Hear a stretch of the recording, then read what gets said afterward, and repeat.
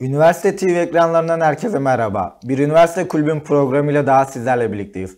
Bugün konuğumuz Maltepe Üniversitesi Erasmus öğrencisi Kaan Serin bizlerle. Erasmus'tan henüz döndüm. Bunun akabininde de burada size faydalı olmak için geldim. Ben de dedim ki ben neden olmayayım? Kültürel etkileşimi seviyorum. İlk günden son güne kadar hem bana arkadaşlık yaptı hem arkamda durdu. Ortalamanızın iki buçuğun üzerinde olması gerekiyor öncelikle. Çok böyle meşakkatli, çok zor bir olay değil aslında. Hepimiz aynı yurdun aynı koridorunda kalıyorduk. Orada kesinlikle girişken olmanız gerekiyor. Hem kültürel etkileşimin keyfini çıkarın hem de dil pratiği yapın. Mesela ben Erasmus'un öncesinde dizileri İngilizce izlemiyordum. Şu anda İngilizce izliyorum. Kelimeleri öğrenmek, anlamlarını öğrenmek çok daha mantıklı. Yani hani hep deriz ya işte iyi insan vardır, kötü insan vardır diye. İlk başta çok sıcak değillerdi. Lise sınavlarıma çok sıcak değillerdi bana karşı. Bir üniversite kulübün programının sonuna geldik. Bizleri izlediğiniz için teşekkür ederiz. Kendinize iyi bakın, sevgiyle kalın.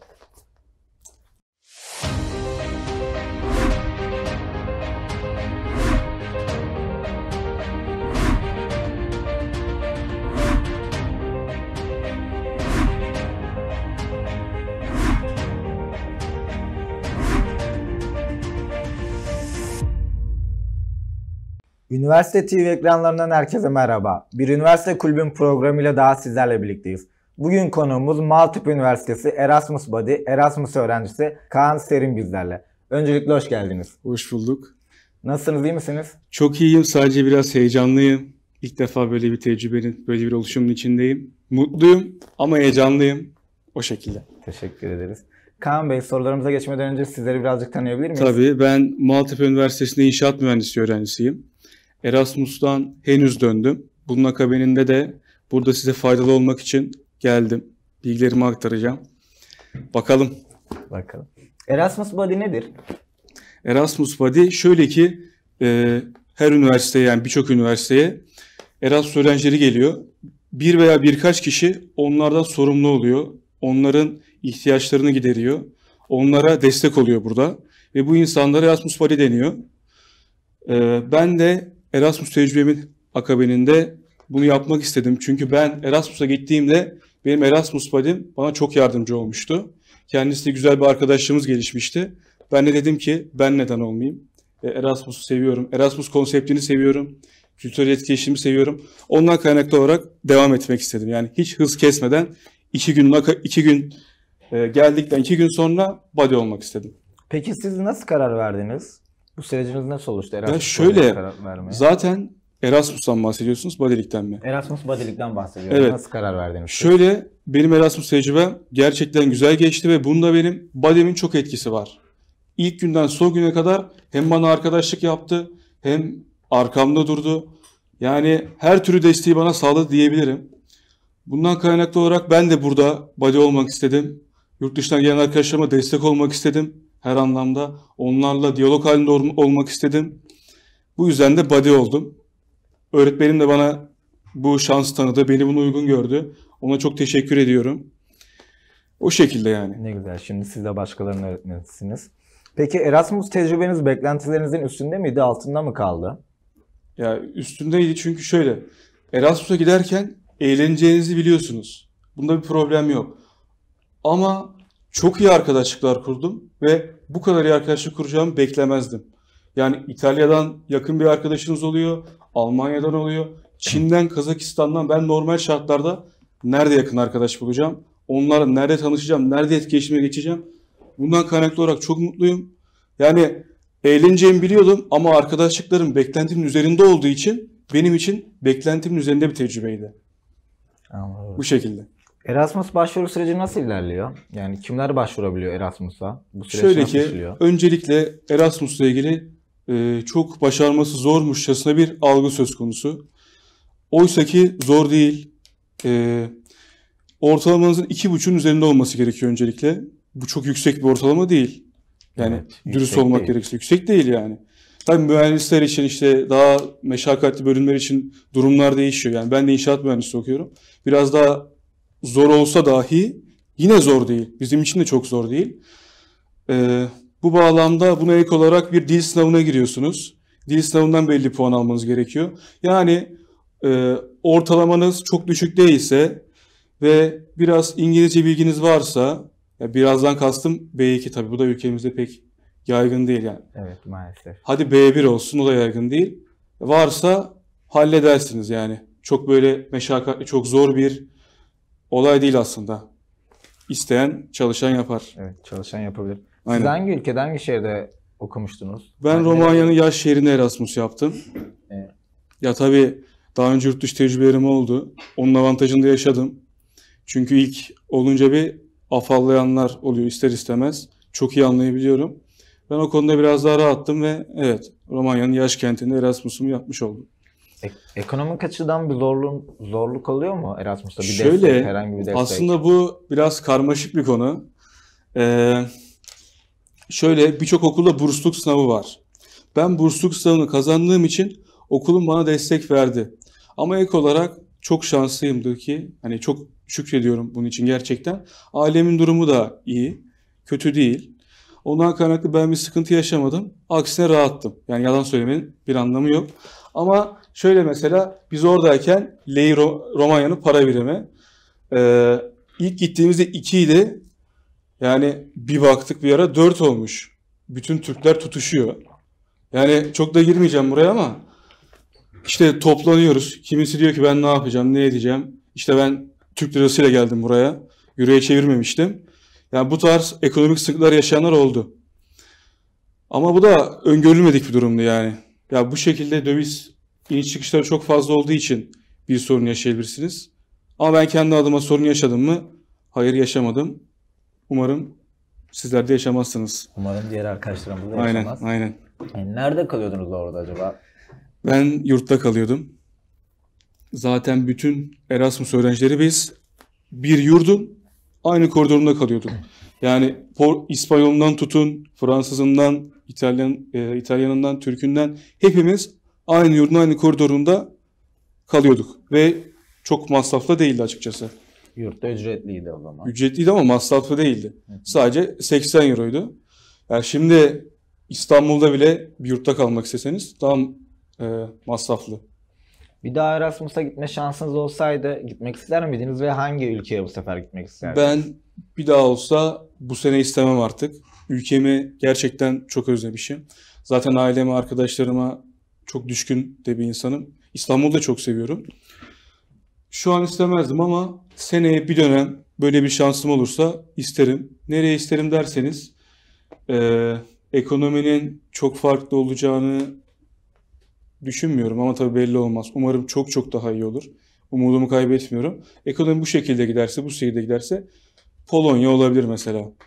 Polonya olabilir. Evet. Güzel. Çünkü e, Schengen vizesi veriyor ve Polonya'dan birçok yeri ziyaret edebiliyorsunuz. Ama Romanya'dan mesela atıyorum Fransa'yı ziyaret edemezsiniz. Çünkü Schengen vizesi almıyorsunuz. Siz Romanya vizesi alıyorsunuz. Ama örneğin Polonya'ya giderseniz Schengen bölgesinde olduğu için çok daha fazla seyahat etme imkanınız oluyor. Bunu demek istemiştim. Erasmus'a gidecek öğrencilere nasıl bir tavsiye vermek istersiniz? Onlara Yani ne söylemek nereden, istersiniz? nereden başlasam bilmiyorum. Yani buyurun. Yani gerçekten şimdi şurada oturacağım, sabaha kadar konuşacağım yani. Ee, öncelikle Erasmus gerçekten çok güzel bir tecrübe gibi lanse ediliyor ama çekingen davranırsanız, işte ben e, içime kapanayım vesaire durumuna girerseniz keyifli bir tecrübe olmaz. Orada kesinlikle girişken olmanız gerekiyor. İngilizcenizin olması gerekiyor ve geliştirmeye meyilli olmanız gerekiyor. Onun dışında ben Türklerle tabii ki arkadaş olun. Benim de oradan edindiğim çok iyi Türk arkadaşlarım da var ama vaktinizin çoğunu yabancılarla geçirin. İngilizcesi iyi olan yabancılarla geçirin. Hem kültürel etkileşimin keyfini çıkarın hem de dil pratiği yapın.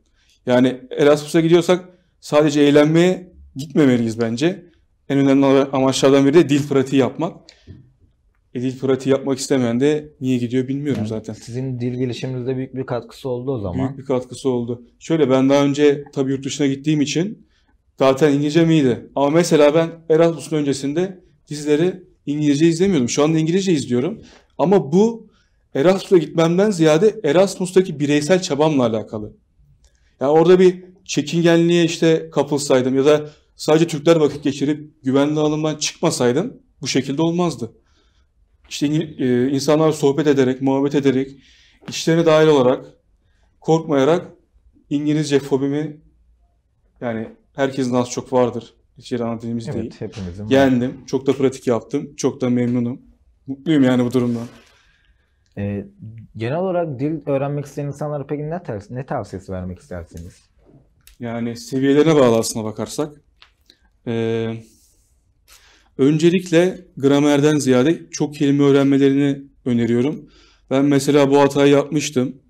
İngilizce öğrenirken başlarda çok gramer odaklıydım. Çünkü mükemmel konuşma çabası içindeydim. Fakat ilk aşamada işte daha çok duymak, kelimeleri öğrenmek, anlamlarını öğrenmek çok daha mantıklı diye düşünüyorum.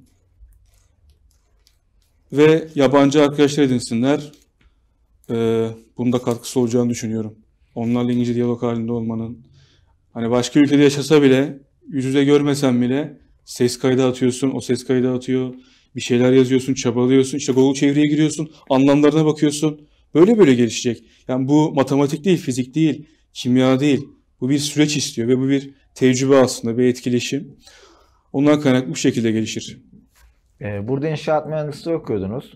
Erasmus'ta okuduğunuz bölümle ilgili hocalarınız, üniversiteniz nasıldı acaba? Kendi bölümünüzle ilgili. Ya şimdi hocaları ben genelleyemiyorum. Çünkü iyi olanı vardı, kötü olanı vardı. Aşırı disiplinli olanı vardı. Yani e, çok fazla genellemek mümkün değil ya. Yani hani hep deriz ya işte iyi insan da vardır, kötü insan da vardır diye. Hocalar için de aynı hesap. Yani iyileri var, kötüleri var. Gerçekten tam olarak bu şekildeydi. Unutamadığınız Erasmus anınız nedir? Ya çok En var şimdi. anınız. Ben buna nereden başlayayım? Buyurun. Yani nereden başlayayım arkadaşlar? Gerçekten yani ne diyeceğimi bilemiyorum. Sizce en Böyle sorarsan aklıma gelmez ama. En unutamadığınız anınız, anınız? İyiler de var, kötüler de var. Şimdi böyle sorarsan aklıma gelmez. Spesifik veya işte ilk haftalarda diyebilirsin, son haftalarda diyebilirsin. İlk gününüz nasıldı gittiğiniz? İlk gününüz? İlk günüm, Zorlanmanız. ilk haftam aslında ilk 1-2 haftam biraz zor geçti. Çünkü bunlara özellikle değinmek istiyorum. Arkadaşlar Erasmus bir e, macera. Örnek veriyorum. Burada seçtiğiniz dersler oraya gittiğinizde eşleşmeyebilir. Her şeyi mesela ben 8 ders seçtim. Orada 5'e eşleşmedi. Ben 5 tane ders arıyorum günlerce. Hocamı arıyorum, diğer hocamı arıyorum. Böyle stresli bir zaman dilimi geçti. Bunlar yaşanabilir. Bunları giden göze alacak. Ve ben 2 hafta geç gittim. Ee, tabii yani gruplaşmalar oluşmuştu ister istemez. Türkler arasında da ilk başta çok sıcak değillerdi. Lise sınavları ama çok sıcak değillerdi bana karşı. Tabii sonrasında ben ultra sosyal bir hale geldim. Yani Türklerin içinde belki en sosyal kişi haline geldim ama ilk 1-2 hafta hem ders seçim açısından hem de ufak tefek e, dışlanmalar söz konusu oldu açıkçası. Bu açıdan biraz zor geçti. Son gününüz nasıldı? Gelmeye yakın gününüz. Son günlerde de ben evrak yetiştirme çabası içindeydim. Ve şöyle benim e, diğer Türkler erken döndü. İlk dönemdeki olan Türkler erken döndü. Ben fazladan kaldım. O kadar ki yeni gelen ikinci dönem için gelen arkadaşları karşıladım. Birkaç gün onlarla geçirdim. Onlara tavsiyelerimi aktararak, evraklarımı tamamlamaya çalışarak son birkaç günümü geçirmiş oldum. Zaten son birkaç günde benim yakın arkadaşlarım gitmişti. Yani burada isim bile verebilirim. Yakın arkadaşlarımı o kadar çok benimsedim ki. Yani Erasmus arkadaşlığı bitti. Onlar benim gerçekten yakın arkadaşım oldu. Şu an beni arasınlar. Çok zor hani durumdayım, çok depresyondayım desinler. Ben üşenmem, vizeye de başvururum, her şeyi yaparım, giderim. Ben bunu buradaki arkadaşlarım için de yaparım, ailem için de yaparım. Yani ailem ve arkadaşlarımdan başka kim kimimiz var ki ve orada da Erasmus arkadaşlıkları gerçek arkadaşlıklara dönüştü. Bundan çok memnunum. Tekrar tekrar söyledim biraz çok söyledim ama heyecanla verin arkadaşlar olur o kadar. Şu an görüşüyor musunuz Erasmus'taki arkadaşlarınızla? Her gün konuşuyoruz ya. O kadar ki bir arkadaşım e, hani böyle bir depresif bir ruh haline bürünmüş. Akşam 12 mi 1 mi? Beni arıyor işte sen kardeşim gibiydin. Gerçekten özledim paylaşımlarımızı vesaire vesaire. Yani Kanarya Adası'na çağıran mı dersiniz? Yok efendim Kazakistan'a çağıran mı? Almanya'ya çağıran mı? Ya inanılmaz bir duygu ya. Ben çok mutluyum yani bunları yaşadığım için. Hem dilim gelişti hem her yerde arkadaşlarım oldu. Yani dört buçuk ayın hakkını verdim. Her yerde bir eviniz var işte. Evet çok çok mutluyum durumdan. Romanya'yı siz mi tercih etmiştiniz? Şöyle ki öncelikle e, üniversite seçerken derslerinizin eşleşmesi gerekiyor. o üniversiteyle. O üniversitenin ders, ders programı bakacaksınız. Benim derslerim güya eşleşiyordu tabii ki. Oraya gitmeden bilmiyordum. O yüzden Romanya'yı seçtim. Artı ekonomik olarak rahat etmek için tabii ki. Tamam ailemin durumu iyi ama İspanya vardı. E, Euro 10'du. Belki kaç olacağını da bilemiyorsunuz. E, para yetişmez yani. O da 1000-1500 euro gideriniz olsa aileme yük. Ha, öderler mi? Belki öderler ama ben niye böyle bir onlara yük bindireyim? Romanya'ya giderim daha iyi. Kaldı ki zaten daha öncesinde de İtalya, Amerika gibi ülkelere gittiğim için e, çok aşırı bir hani Batı Avrupa hevesim yoktu. Romanya kulağıma güzel geldi. Nispeten daha ekonomikti. Romanya'ya gittim. Bu Yeni şekilde. gelmiş İyi ki de mi? gitmişim. Adapte olabildiniz mi peki şu an buraya? Erasmus'tan geldiniz buraya. adapte Birkaç gün oldu. dört buçuk ay oradaydım. Dört buçuk ay e, uzun bir süre. Çünkü orada arkadaşlarınız var sadece. Orada aileniz yok. Yani yatıyorsunuz, kalkıyorsunuz, yine arkadaşlarınızla görüşüyorsunuz. E, sürekli arkadaşlarınızla görüştüğünüz için özellikle de e, dışarı çıkmayı seven biriyseniz, hani içiniz dökmeyi seven biriyseniz gerçek bağlar kuruluyor. Buraya alışmaya gelirsek, yani asıl soruya gelirsek, tabii ki alıştım yani burası benim ülkem. Ben Mersinliyim, İstanbul'da yaşıyorum, İstanbul'da okuyorum. Burayı çok seviyorum. İnanın daha Edirne'ye benim gitmişliğim yok, hayatımda gitmişliğim yok. Edirne kapısından girdik, beni bir heyecan, mutluluk sardı yani. O kadar probleme, o kadar strese rağmen beni bir heyecan, mutluluk sarıyor buraya geldiğimde. Şu ana kadar bir şey yapamadım birkaç gün içinde ama şu andan itibaren dinlendim. Kendimdeyim. Daha çok tadını çıkarmayı düşünüyorum. Ne Bu güzel şehrimin, bu güzel ülkemin her şeye rağmen. Umarım hep beraber tadını çıkarırız. Evet. Herkes de bir gün umarım Erasmus'a gider. Gider ya. Programın Evet. sonuna gelmeden Üniversite TV ailesi hakkında düşüncelerinizi alabilir miyiz? Tabii ki. Şöyle ki çok güzel bir oluşum. İçerideki arkadaşlar çok sıcakkanlı, çok yardımsever. Buna siz de dahilsiniz. Söylemeye Teşekkür gerek yok. ederim. Sağ olun. Ee, sizin de ilk yayınınız umarım keyifli geçmiştir. Çok teşekkür ederim. Yani çok güzel bir ortam var burada. Fırsat olursa yine gelmek isterim. Arkadaşlarıma da tabii ki nitelikli arkadaşlarıma, yardımcı olabilecek arkadaşlarıma burayı tavsiye edeceğim. Onlar da gelmek isterlerse gelirler. Herkese selamımı söylüyorum buradan. Herkese e, kucaklıyorum. Pozitif olmalarını işte iyi olmalarını diliyorum. Çok da bir şey söyleyemiyorum. Kendinize iyi bakın arkadaşlar. Size teşekkür ederim. Ben teşekkür ederim. Umarım sizi tekrar bu stüdyoya konuk olarak alırız. Umarım. Çok istiyorum. Buradan mesajı iletiyorum. Tekrar sizi bekliyoruz en kısa zamanda. Katıldığınız için çok teşekkür ederiz. Bir üniversite kulübün programının sonuna geldik. Bizleri izlediğiniz için teşekkür ederiz. Kendinize iyi bakın, sevgiyle kalın.